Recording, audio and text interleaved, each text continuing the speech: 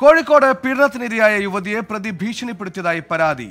പീഡന പരാതിയിൽ പോലീസ് കേസെടുത്തതിന് പിന്നാലെ സ്വകാര്യ ചിത്രങ്ങൾ സാമൂഹിക മാധ്യമങ്ങളിൽ പ്രചരിപ്പിക്കുമെന്നായിരുന്നു ഭീഷണി. തിരുവങ്ങൂർ സ്വദേശി ശരത്തിനെതിരെ ഇരുപത്തിരണ്ടുകാരി കോഴിക്കോട് സിറ്റി പോലീസ് കമ്മീഷണർക്ക് പരാതി നൽകി.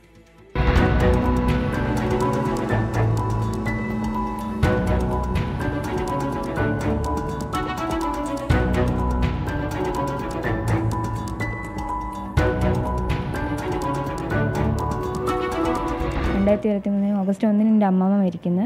മൂന്നാം തീയതി ഇവൻ എന്റെ വീട്ടിലേക്ക് ഇവന്റെ വീടിന്റെ വാർപ്പായിരുന്നു ആ സമയത്ത്. അപ്പോൾ ചുറ്റുപാടൊന്നും ആരുമില്ല. ഇവരെ വീട്ടുകാർ അതായത് പെങ്ങളും സ്വന്തം അമ്മയും അവിടെ വാർപ്പിന്റെ അവിടെയായിരുന്നു. ഇപ്പം വൈകുന്നേരം മദ്യപിച്ചിട്ട് എന്റെ വീട്ടിൽ കയറി വന്നിട്ട് എന്നെ എന്റെ സമ്മതമില്ലാണ്ട് എന്നെ ബലമായിട്ട് എന്നെ നശിപ്പിച്ചിട്ടുണ്ട്.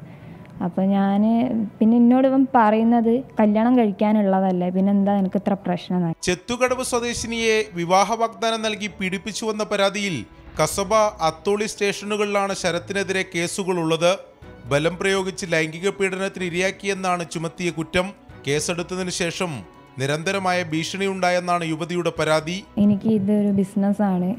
അതായത് ഞാൻ മോശപ്പെട്ട് നടക്കുന്ന രീതിയിലൊരു പെണ്ണാണെന്നൊക്കെ പറഞ്ഞിട്ട് അവിടെ പ്രചരിപ്പിക്കും. എന്റെ അനിയന്റെ കൂടെ വന്ന് കിടന്നിട്ടുണ്ട് അങ്ങനെയായിട്ട്. പക്ഷേ ഓന് വേണ്ട ഓന് കിട്ടാനുള്ളതൊക്കെ ഓളടുത്ത് നിന്ന് കിട്ടിയിരിക്കുന്നു ഓനിത് ഒരു സ്ഥിരം തൊഴിലാണെന്ന് പറഞ്ഞിട്ട്. പിന്നെ എന്റെ ഒരു വീഡിയോ ഉണ്ട് എന്നൊക്കെ പറഞ്ഞിട്ട് ഈ പയം എന്നെ ഭീഷണിപ്പെടുത്തുന്നുണ്ട് അതിന് പിന്നെ ഒരു എന്റെ ഒരു ഫ്രണ്ടിന്റെ കയ്യിലേക്ക് എന്റെ ഒരു വീഡിയോസ് അയച്ചു കൊടുത്തിട്ടുണ്ടെന്നു. അത് പബ്ലിഷ് ആക്കി കാണിച്ചു തരാമെന്നൊക്കെ സഹോദരി പറഞ്ഞിട്ടുണ്ട്. സമൂഹ മാധ്യമങ്ങളിലൂടെ യുവതിയുടെ സ്വകാര്യ ചിത്രങ്ങൾ പ്രചരിപ്പിക്കുമെന്നാണ് ഭീഷണി. ഇതിന്റെ ശബ്ദ സന്ദേശങ്ങളും പരാതിക്കൊപ്പം പോലീസിനു കൈമാറി. പിന്നെ ഇതിനെക്കാട്ടും വലിയൊരു സാധനം അവിടെ ഉണ്ട് അയപ്പെടുന്നില്ല അതെന്റെ അച്ഛനുള്ളതാ. അയാളെ മൂപ്പര് കാണുന്ന അത്രയും വലിയ പ്രശ്നം. പിയോ അതോട് നോക്കാം. കുറച്ചു കേട്ടെ. മൂപ്പരത്തോ കാണുന്നുണ്ടല്ലോ.